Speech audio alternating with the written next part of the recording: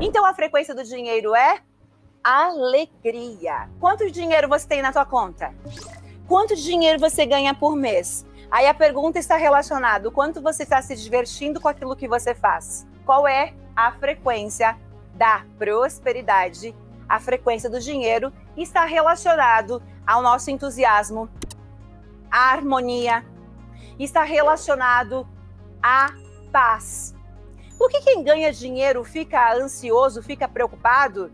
Quem tem dinheiro, tem desequilíbrio, está ansioso, está deprimido? Não. Então faz sentido, né? Vai fazer sentido, vai fazer muito sentido quando você aprender todos todos os conceitos. O segredo para co-criar, então, a riqueza está relacionado à frequência que eu estou vibrando. Se eu acho que ganhar mil reais é fácil, vamos supor que você trabalhe com vendas.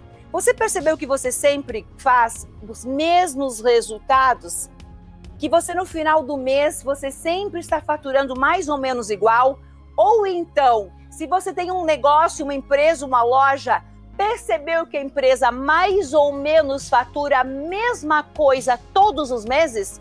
E o que a empresa fatura é o quê? É aquilo que você sabe que é garantido para faturar. Hum. Então, o dinheiro, a riqueza e a abundância está relacionado à tua frequência dominante. Frequência dominante é aquilo que predomina em mim. Alguns de vocês devem pensar o seguinte: não, mas é porque eu sou positivo, eu vibro alegria. Quantos minutos por dia? Quantos dias na semana? Predominante é todos os dias, predominantemente quem você é. Qual é a tua essência? Qual é teu todo? E se, eu, se você somar quanto tempo do dia você está em frequência positiva, em frequência de alegria, em frequência de confiança, e quanto do dia você está na frequência da escassez, é disso que eu estou falando. O dinheiro que você recebe está relacionado à tua frequência dominante. Elaine, o que é frequência? Eu decodifiquei um estudo para o mundo, o estudo sobre frequência vibracional, e fui decodificando com base em leituras de mais de dois mil livros. Isso há seis anos atrás, quando eu começo esses estudos. Esses estudos não existem no Brasil. Eu até conto para todo mundo, né? Por não ser fluente na época, como que eu traduzia o ensinamento no Google Tradutor, gente? Eu demorava uma semana inteira para traduzir um artigo do inglês para o português para poder ler. E eu fui aprendendo esse conteúdo, fui ensinando nos meus cursos. Meu primeiro curso que eu ensino e que é focado em frequência vibracional é o Power Mind Quântico, todo esse estudo compilado, estudado e decodificado. Então, o teu estado vibracional, a frequência que você predomina, que é dominante em você. Você pode ser positivo? Pode. Vou explicar como é que era, como é que eu era quando eu estava em depressão suicida. Eu acordava de manhã e, como eu havia lido muitos livros e, e, e, estudado muito sobre a mente humana, desde os meus 16 anos de idade, eu sou fascinada pelo estudo da mente, eu entendia que tinha que ser positiva. E eu estava lá, numa escassez total, passando fome, em depressão. E eu acordava de manhã e eu dizia: eu sou próspera, eu sou rica, eu sou amada. Ok. E eu fazia aquela meditação de 5 ou de 10 minutos. E o restante do dia inteiro eu estava nervosa, eu estava desequilibrada, eu estava angustiada, eu estava vibrando na culpa, na vingança. Mas nenhum treinamento sobre a face da terra nenhum curso, nenhum livro até então havia ensinado isso que eu descobri sozinha, decodifiquei, criei os meus próprios treinamentos, criei os meus próprios livros que são best-sellers nacionais, DNA Milionário e DNA da Cocriação, e trouxe esse estudo compilado e decodificado para o mundo. E eu fiquei lá nesse processo de depressão durante cinco anos. Porque esse estudo, esse conhecimento não estava em nenhum livro. Os livros diziam, tem que pensar positivo. E eu pensava. Se eu pensava positivo, por que, que a minha vida piorava? Aonde estava essa resposta? Quanto mais eu pensava positivo, mais a minha vida piorava, mais problemas financeiros eu tinha, mais dívidas, mais contas, mais dificuldade sozinha com os meus filhos pequenos. Aonde estava a resposta? A resposta até então, ela não existia. Não se falava sobre frequência. Não existia um único artigo, um único conteúdo nas redes sociais, nenhum vídeo no YouTube falando sobre isso. Porque se existisse, gente, eu mesma teria estudado por esse caminho, mas não existia. Eu precisava traduzir o conteúdo em espanhol, em francês, em inglês, para poder entender o que era frequência, o que era energia. Se existia lá, lá em 2014, lá em 2013, quando eu começo a decodificar esses estudos, se existisse alguém que falasse sobre isso, eu não acessava essa pessoa. Ela não estava no meu campo, eu não conhecia ela. Porque talvez vão dizer, ah, mas tal pessoa já falava sobre isso, que bom, e você estudou com ela? Porque quando eu estava lá, eu não conhecia ela. Hoje eu entendo por que, que eu passei por tudo isso, porque meu, meu trabalho, o que, que eu faço, gente? O que, que eu sou? Eu sou uma treinadora mental. O que é um treinador mental? Especialista em frequência vibracional é o treinador, é a pessoa que ajuda as pessoas a aumentarem sua frequência vibracional. Então, através do campo eletromagnético, vocês vão entender exatamente o que é que eu estou falando, que é aquilo que você vibra, o que retorna para vocês. Se todos os livros, Poder do Subconsciente, eu sei decor, eu acho. Joseph Murphy, eu sei praticamente decor, de cor, o, o, esse livro de tanto que eu já li. Para quem não conhece a minha história, com 16 anos de idade, eu li Lauro Trevisan, O Poder Infinito da Mente. É, então eu já tinha total conhecimento sobre a mente humana, já tinha feito treinamento de programação neurolinguística, enfim, já tinha muito, muito treinamento. Mas como? Como que mesmo tendo todas essas formações, como que eu estava vivendo o caos, a miséria, a escassez, o suicídio, a depressão? Onde estavam essas respostas, porque o que me manteve viva era de lá no fundo, algo dentro de mim sabia que o caminho era esse. Eu acredito no poder do pensamento positivo, mas o que eu estou fazendo de errado? Essa era a minha pergunta. Qual a pergunta que você faz para você todos os dias? Essa pergunta determina para onde você está indo. A minha pergunta era: o que eu estou fazendo de errado? E o campo é exatamente a vibração que eu emano. Ok, mas então você é positivo, porque você acordou de manhã e você pensou positivo. Qual era o livro que ia me explicar, gente? Isso eu fui lendo. Para chegar nesse estudo, eu li mais de dois mil livros. Já contei isso muitas vezes. Às vezes eu li um livro em um dia.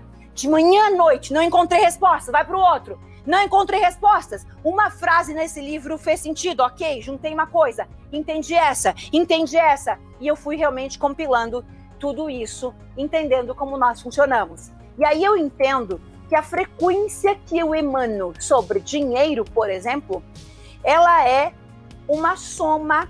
Qual é a tua frequência predominante? Ela é a soma daquilo que eu falo daquilo que eu sinto, da forma como eu me comporto. Vamos analisar a Elaine. Elaine acordava de manhã e falava o quê? Eu sou próspera.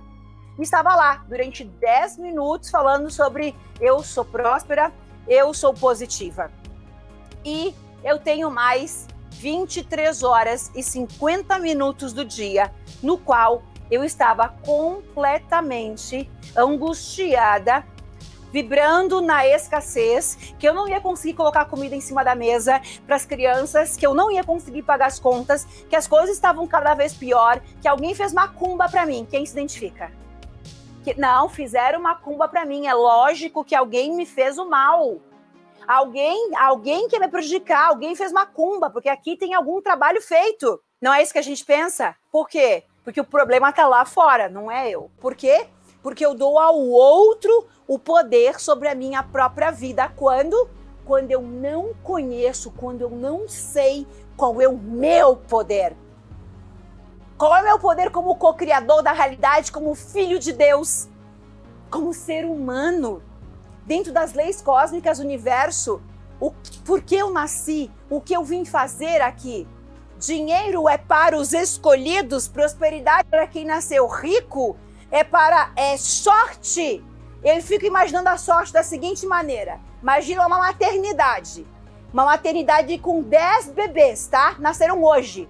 Deus vai na maternidade e diz: Hum, que criança linda, vai ser rica. Nossa, que bebê horroroso, vai ser pobre. Isso é sorte. É alguém que chegou na maternidade e determinou: você vai ser pobre, você vai ser rico. É nessa historinha para boi dormir que você acredita? No mínimo é, quando você entrega o teu poder lá fora. É o campo que reverbera ao nosso redor. Esse campo, ele pode ter 3, 4, 5 metros de acordo com a frequência em que eu estou vibrando, com a elevação da minha frequência vibracional. O foco do ativar dinheiro é você entender exatamente a frequência que você está vibrando. Porque qual era o meu discurso? Meu discurso era: eu sou positiva. E quando eu li um livro, eu ficava mais nervosa ainda, porque eu dizia, eu estou fazendo isso tudo. Eu estou fazendo isso tudo. Como que eu não tenho resultado?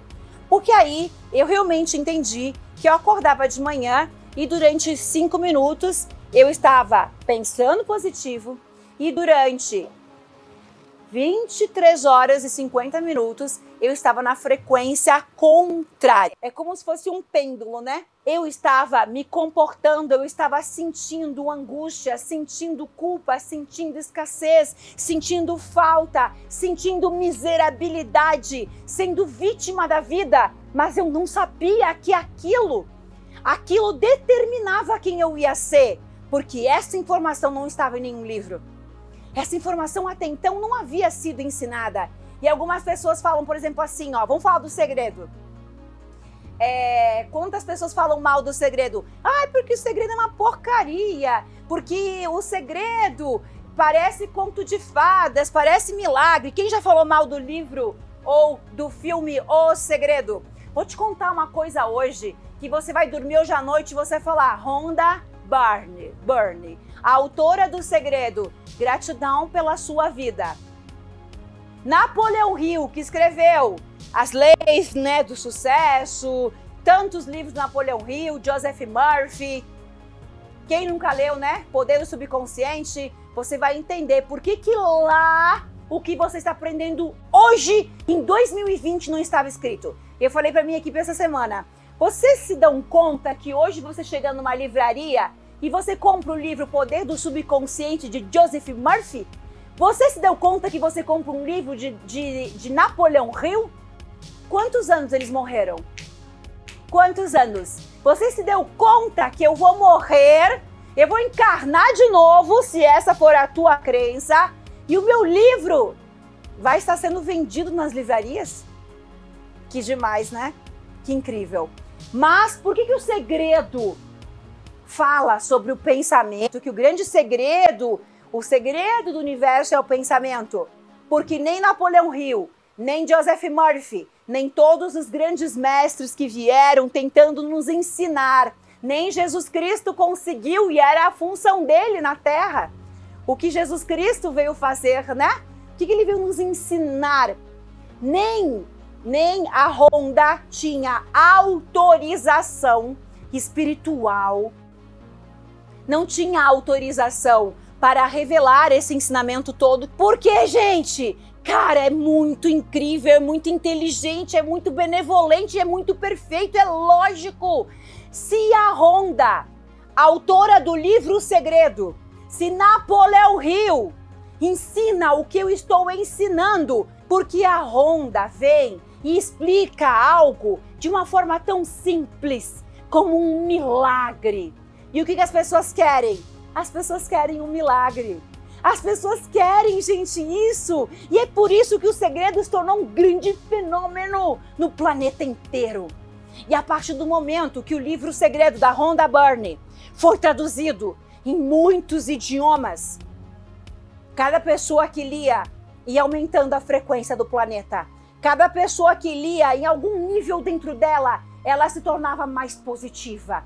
Por mais que aquele cheque que aquele carro, que aquela mansão que o filme fala não estava na garagem dela. Mas as pessoas se tornaram mais positivas. E o que foi acontecendo com o planeta?